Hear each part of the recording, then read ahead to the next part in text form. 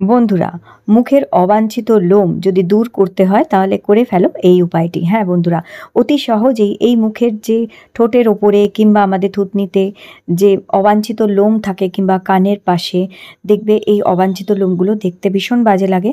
সবাই পার্লারে গিয়ে এই লোম তুলতে চায় না তো তোমরা বাড়িতে বসে এই উপায়টা করে নিতে পারো। বাড়িতে বসে যদি এই উপায়টা করে ফেলো ন্যাচারালি প্রাকৃতিকভাবে অতি সহজে বাড়িতেও কিন্তু এই লোমগুলো দূর করতে পারবে। মুখের লোম খুবই পাতলা হয়, নরম হয় সফট হয়। তো এই উপায়টি দিয়ে অতি সহজেই বাড়িতে কিন্তু এই লোম দূর করা যাবে। সবার প্রথমে আমরা দুই বড় চামচ চিনি নেব। দু বড় চামচ চিনির মধ্যে হাফ কাপ মতন জল মেশাবে।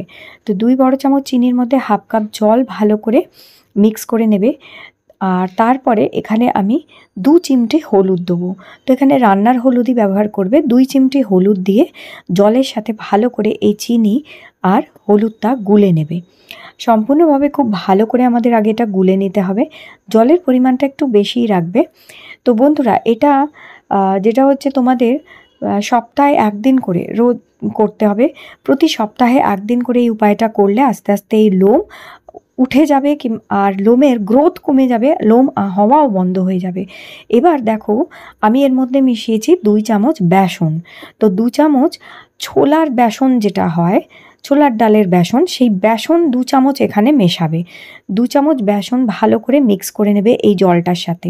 ভালো করে মেশানো হয়ে গেলে এবার আমাদের এটাকে ফোটাতে হবে এবং ফুটাতে হবে ততক্ষণ যতক্ষণ না এটা একটু আঠালো মতন তৈরি হয়ে যাচ্ছে।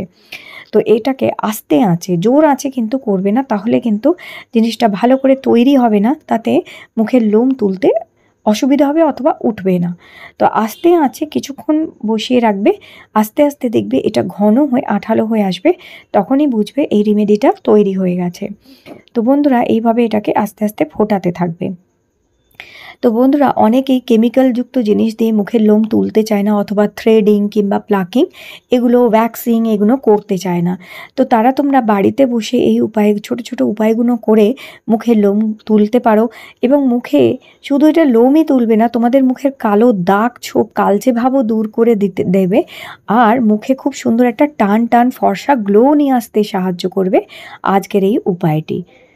তো দেখো, এখানে আস্তে আস্তে কি সুন্দর এটা আঠালো মতন হয়ে আসছে, তাতে বুঝতেই পারছ। এরকম একটা জেল মতন তৈরি হয়ে যাবে, দেখো এরকম এবার এটাকে একটি বাটির মধ্যে ঢেলে নেবে, আর এটা সম্পূর্ণভাবে ঠান্ডা করে নিতে হবে আমাদের। এটা মুখে অ্যাপ্লাই করার আগে সম্পূর্ণ ঠান্ডা করে নেবে। তো এইভাবে একটি বাটির মধ্যে নিয়ে নেবে আর দেখো, এটা এখন ঠান্ডা হয়ে গেছে পুরোপুরি। এবার চলো বলি কীভাবে অ্যাপ্লাই করবে।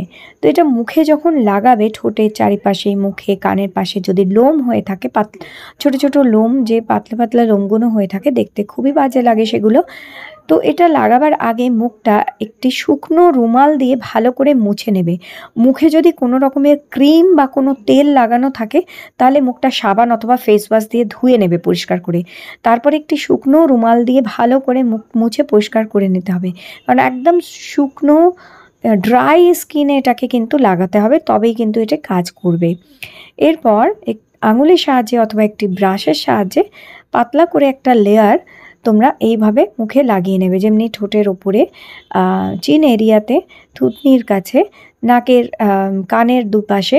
আচ্ছা হ্যাঁ এটা নাকের ওপরে, নাকের পাশেও লাগাতে পারো। যে ব্ল্যাক হেড, হোয়াইট হেডস আছে সেগুলোও দূর হয়। আর হ্যাঁ এটা তোমরা ফুল ফেস পুরো মুখে এটা অ্যাপ্লাই করতে পারো। যদি কপালে ছোট ছোট লোম থাকে অনেকের, তো সেটা দূর হয়ে যাবে। তবে নাকের ওপরে লোম থাকে অনেকের, তো এটা লাগাবার পরে সম্পূর্ণভাবে শুকিয়ে যাওয়া অপেক্ষা করতে হবে। সেটা আধ ঘন্টাও সময় লাগতে পারে। আবার কাউর স্কিন যদি খুব ড্রাই হয়, তাহলে কুড়ি মিনিটেও শুকিয়ে যেতে পারে।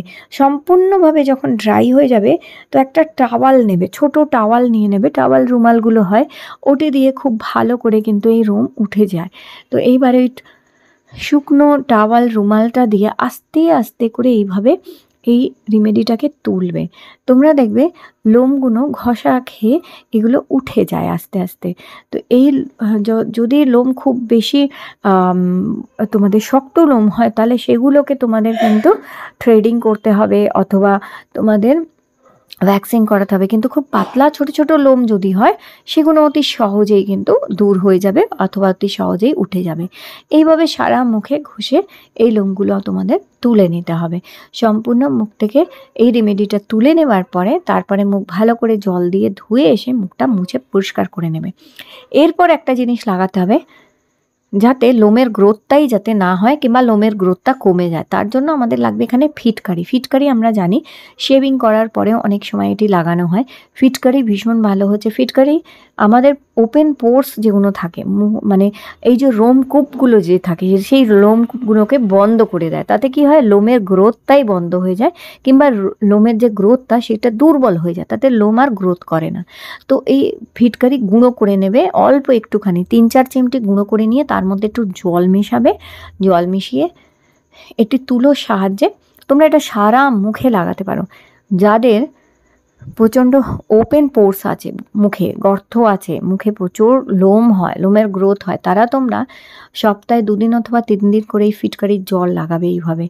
দেখবে লোমের গ্রোথও কমে যাবে, মুখে টান টান আস, ভাব আসবে একটা, যাদের স্কিন কুঁচকে গেছে তাদের জন্য খুব ভালো। এটা স্কিনকে টান টান করে খুব। তো এইভাবে লাগাবার পর দশ মিনিট রেখে দেবে, দশ মিনিট রেখে দেওয়ার পর জল দিয়ে মুখ ধুয়ে নিয়ে হালকা করে একটি ময়শ্চারাইজার লাগিয়ে নেবে। সপ্তাহে একদিন অথবা দুদিন করে এই উপায়টা করো, মুখের লোম দূর হয়ে যাবে। তো বন্ধুরা, আজকের এই উপায়টি তোমাদের যদি ভালো লেগে থাকে লাইক দিও আর চ্যানেলটি সাবস্ক্রাইব করে রেখো। আবার দেখা হবে তোমাদের সাথে নতুন একটি ভিডিওতে